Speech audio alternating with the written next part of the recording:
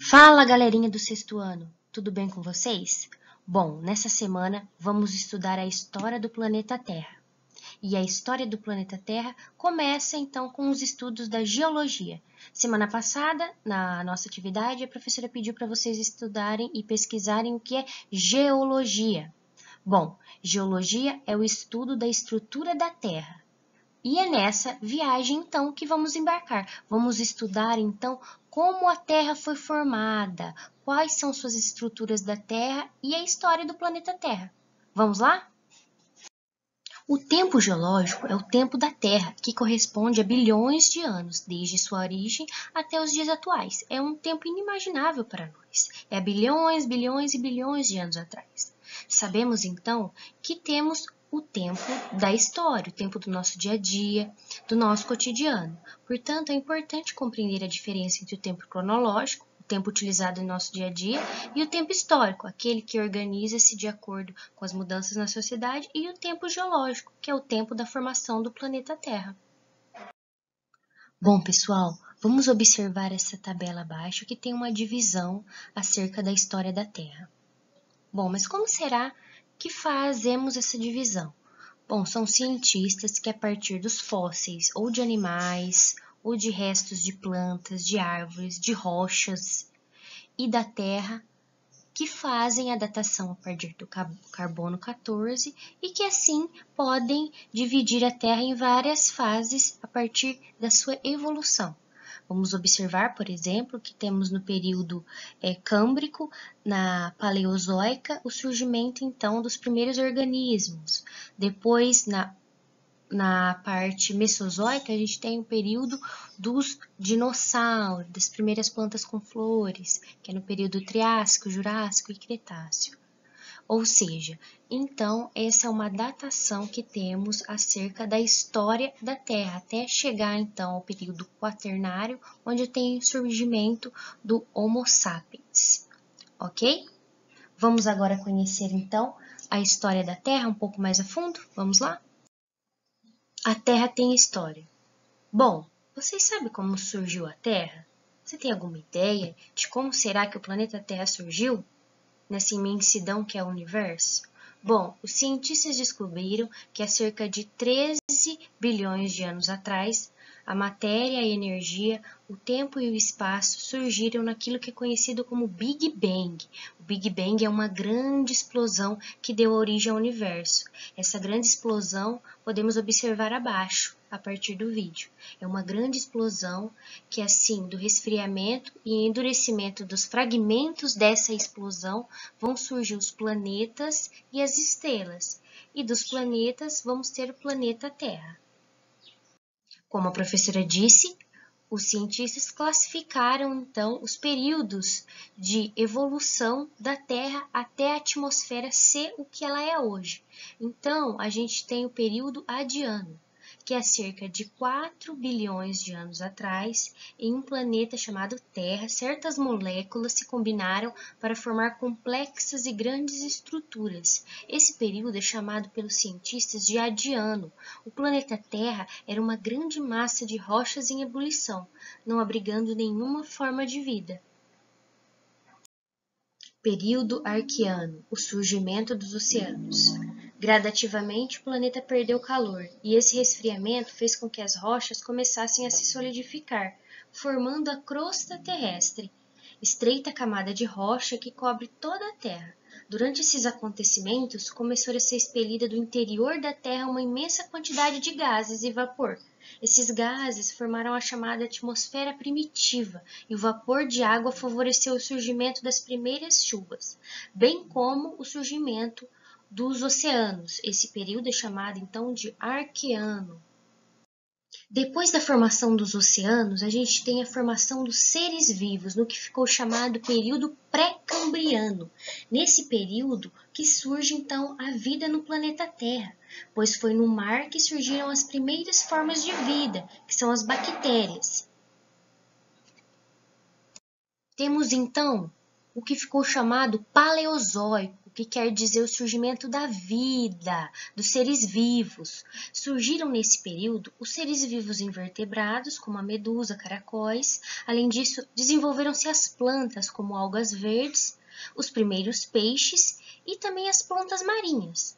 As plantas marinhas começaram então a migrar para áreas continentais e com isso foram se adaptando e assim dando origem às primeiras plantas na Terra. A partir da existência de uma atmosfera já desenvolvida, as, as variações climáticas começaram a acontecer. As espécies foram buscando se adaptar a esse novo contexto, passaram a apresentar partes mais duras, como conchas e os dentes. Finalmente, os continentes foram povoados por milhares de espécies de insetos.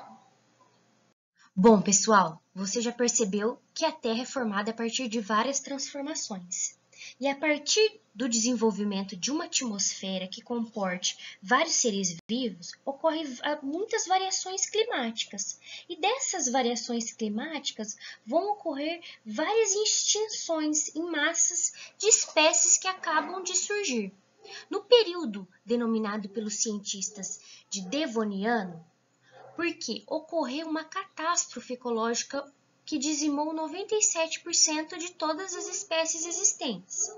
Mas, como a professora falou, do período chamado Devoniano, a gente vai ter o quê? Que ocorreu muitas catástrofes e dizimou muitas espécies, a Terra se transforma a partir dessa catástrofe e ressurge grandes florestas e pântanos, que quando destruídos formaram os depósitos de carvão, que são explorados até hoje.